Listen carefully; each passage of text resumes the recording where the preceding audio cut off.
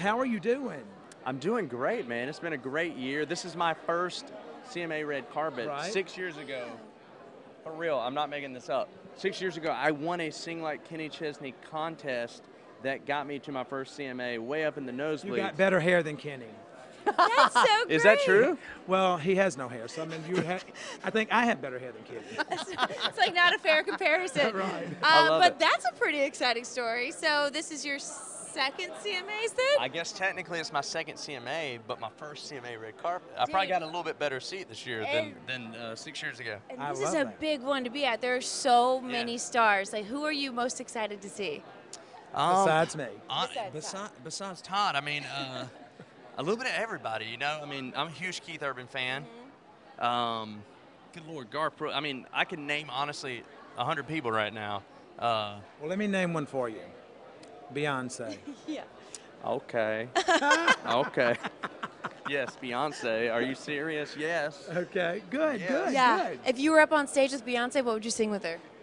Um, ooh, I love it. Uh, I mean, I guess technically it wouldn't be all the. Uh, maybe it would be all the single ladies because you get in there. I need. Here's what I need. How about Todd plays wingman for me tonight? I bet he would be the greatest wingman ever.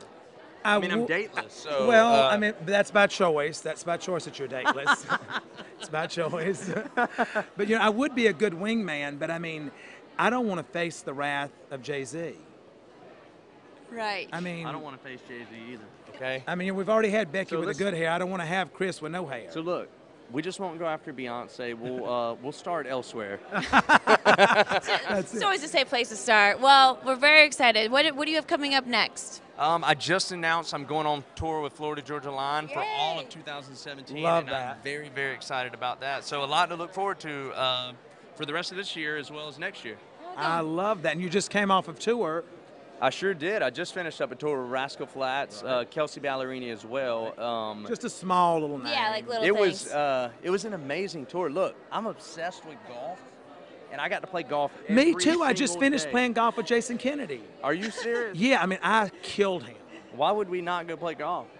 Well, I don't really like golf. But, don't like no, golf? but He I likes did beat Jason. him. I like Jason. he likes Jason. What do you shoot? Like 120?